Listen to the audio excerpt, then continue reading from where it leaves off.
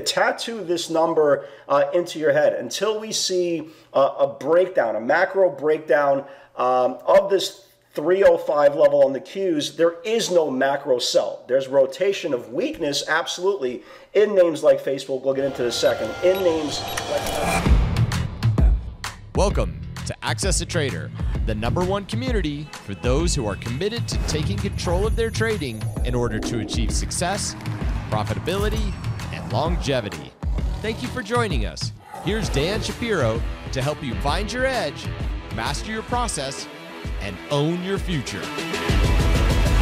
Hey guys, good evening everybody. Welcome to uh, another edition of uh, the AccessATrader.com nightly wrap-up show. Hope everybody is uh, doing well. So, if you watched last night's video, um, you know markets the same, right? We, we talked about um, how the the leaders, the old uh, mega cap leaders, the Amazons, the Netflixes of the world, uh, Facebook. Again, they're they're disconnected right now. It's it's kind of a rinse repeat market it's beta very, very weak. They have their big spotty days to the upside and then they kind of lose steam.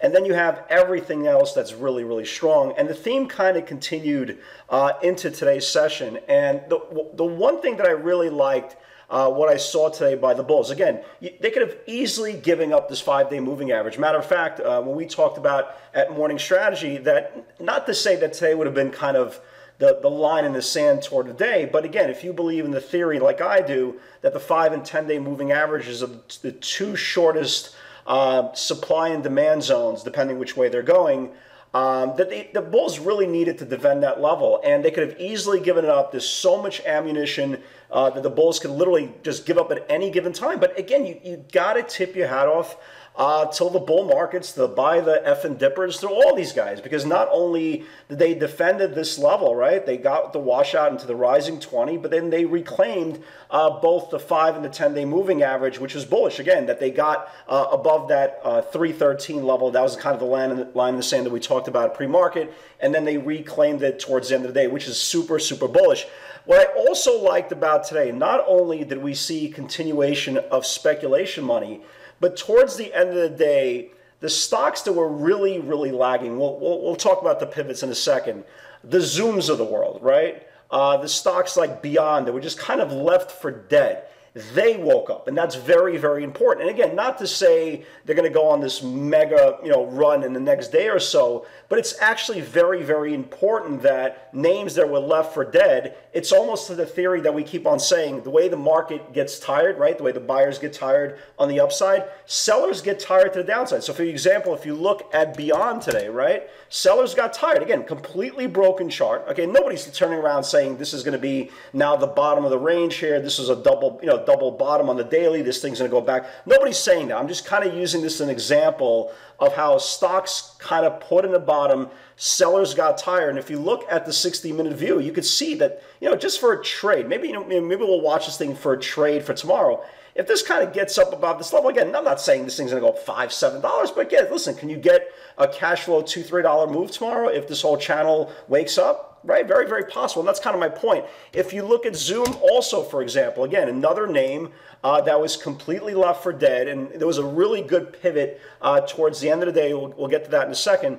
But what I like, what I'm seeing is the names that were dead, they woke up. You saw some pretty aggressive uh, call buying towards the end of January. We saw uh, the 390s, right? So the 390 calls being traded. Uh, we also saw 355 370, 375 weeklies when the stock was trying to confirm that 350 area. And the fact that it closed over 350, borderline 360. Again, look, you can see what's, what it's doing now after hours.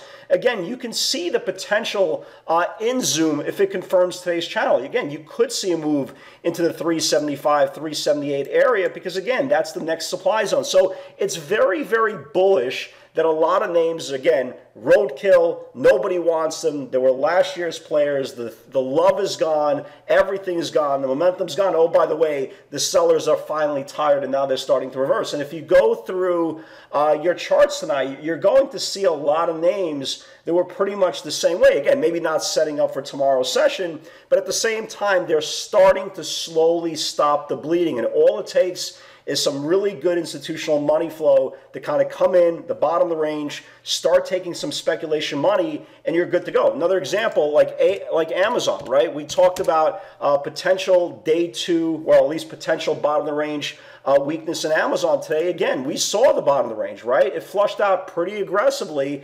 And again, we'll talk about uh, the Twitter feed in a second. You know, I, I kind of made a note. If Amazon can start reclaiming, right, remounting that area of, of, of demand that it lost, it could maybe start making a run. And again, that would kind of correlate into what we saw yesterday.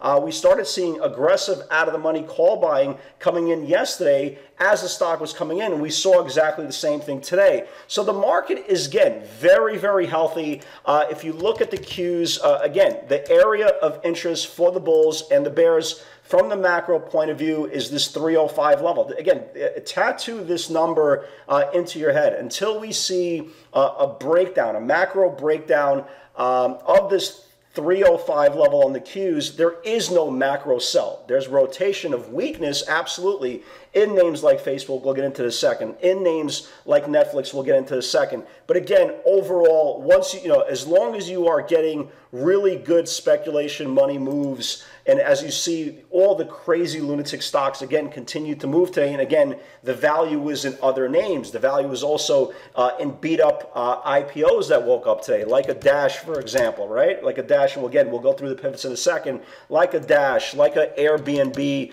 who actually does not look bad at all, right? Uh, AI might be a day or two away, maybe to kind of join the party as well. But again, you could see the theme playing out. Beat up names right? And again, it's very, very tongue, very, very tough to call AI Dash and Airbnb beat up names from the top of their channel. Like obviously, they're again uh, outperforming their um, their pricing on their IPOs. But again, from the point of looking from the bottom, right? They got beaten up, the sellers got tired, and now they're starting slowly to make their ways up. So again, a lot of good action in the market. 305 continues to be the line in the sand uh, in the macro environment. Again, beat up names are waking up. And again, all we're doing every single day is looking for either consolidation breaks off the bottom channel, off the middle channel, or names that are second day plays, basically have their big, big move, are resting now two, three days, and are resuming uh, the next couple days. And again, if you look uh, at the list uh, from today, again, you can see just a couple ideas for tomorrow. Again, a name like Fubo, right?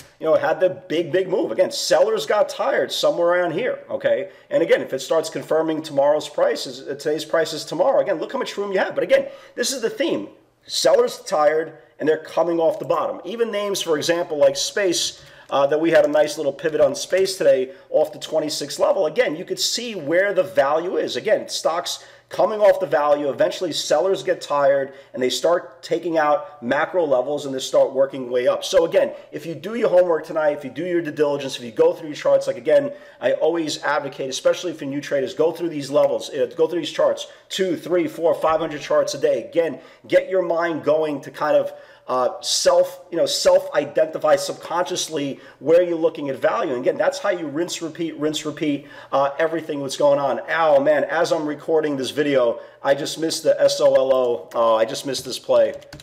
I just missed this play. I, I just missed this play. I tweeted out on the private Twitter feed the $9 break is going now. All right, hopefully, hopefully you guys caught it. All right, it's okay. So let's talk about uh, let's talk about uh, some pivots uh, that we uh, had in the room today. Some pretty good value indeed, and let's talk about this. So again, what we talked about last night, we were watching uh, for some weakness in Facebook and Netflix. The Amazon one and Netflix initially, I said, well, if they get a washout, if they reclaim, I actually like them to the long side. But we'll show you some pivots here uh, on Facebook to the downside and later on Netflix to the downside as well. So here's the first one. Facebook on watch, green to red for experienced traders. Note, this is never a pivot. This is just momentum. Uh, 255.90, uh, 255.70 needs to confirm to the downside. Facebook got absolutely murdered really, really murdered here. You know, so here's a 255.90, just got absolutely killed. I thought it was going to get down to the 249.50s. It got down to 250. Just a beautiful, beautiful move. Congratulations for you guys uh, who caught that. On uh, Netflix, initially I was looking for that remount wash, okay, but later there was a pivot to the downside, which I really screwed up, but again, it is what it is. Again, again, you're human. Uh, Amazon did the right thing, did exactly what I thought. Uh, Amazon, the initial thought last night, and this is kind of what we talked about in the video, was shorting the channel on the break. However, this might be a day away. For experienced trader, and this is exactly what it did um, a little bit later in the day, it washed out, right? If you guys saw it, it washed out uh, got red in the day, went down like 10 or so. I said, watch the 314, 311, 14 watch. Basically, if bulls come back over that level, watch it go red to green you know, it could really, really snap back. And, you know, Amazon did, it, did its job, right? It reclaimed uh, the 3114 level, traded all the way up, you know, all the way up. But, but again, it's not the point that what it did today, okay? It's the point that buyers, again, held the bottom range and sellers got tired. And again, that is the theme, hopefully spilling over in, into tomorrow's session. Um, and this is exactly also what I wanted to see on Tesla. We never got it. What I wanted to see was a washout in the morning to the 799 level. If bulls reclaim, obviously it could snap back. It never got close there, which is a shame because as everybody saw what exactly you know Tesla did today. But I was looking, you know, I was looking for that 799 uh, washout uh, into the five day that obviously never got there, and you know had a, Tesla had a really really big move. So kind of sucks. But again, you have to have uh, the play. Uh, PLTR never got to that 2670 level. Uh, Surf never got to this 1170 level. Uh, ZS uh, 203 needs to reclaim. 205 is a little bit big macro level. Got an upgrade today. Here was uh, ZS, right? So it took out the 203. Here was the pre-market highs of 203 right here. Took out the 205 macro, went almost to 207. I still like it. I got upgraded today. You, you probably see if the market's still strong, you probably see uh, a move back uh, to this 212 level. Okay. Uh, PEIX I still like for tomorrow. Uh, Snapchat, really nice move today. Uh, 55, 90, 56 needs to build. Here was Snapchat, SNAP, right? Uh, so it took out the 50, here, here's where I got the 55, 85, right? You see this whole area here? The 55, 85, 56 area. And a nice move on Snapchat. Uh, went to 56, 65. It looks like it still uh, has a lot of room to the upside. Looks higher there. Uh, space, nice move on space. 26 needs to build. I still like space. I think space goes higher. Uh, we saw 32, I think we saw Feb uh, 32 calls being traded today. Listen, if this thing reclaims 27, um, I think it continues to go higher. So nice move there on space. Uh, Netflix, yeah, this is where it crashed. Uh, 495, 494. If it builds below, it can flush. Like I said in last night's video, I, I thought in this type of environment, uh, you can get both sides. You, you, again, you, you could, as long as you're identifying weakness, you could play with weakness. If you're identifying strength, again, you could have your cake and eat it too uh, in this environment. So here is the 494, 495. It cleared out, and Netflix got absolutely destroyed, went all the way down to uh, 485. So that's that there. Uh, if you've been watching this broadcast, I'm not a big swinger of stocks anymore, but I do play these SPAC names. If you've been watching this broadcast, this 109011 area has been on watch now for like literally for like a month. Finally went. I started buying some in the 11, excuse me, in the 10, uh, 1080s. It closed at 11. Uh, it's printed up. It's starting to walk up here after hours. I have no idea what kind of SPAC they are. I really don't care. This, this juncture, all I know is these things go, and you can see here, it started printing the 1150s here after hours. Who knows? You know, if this thing starts going who knows? Maybe we could see 1213 for this thing. Fingers crossed. Uh, so that's that there. And let's see here. Let's see here. Let's see here. You know, so Facebook, nice move. Big washout.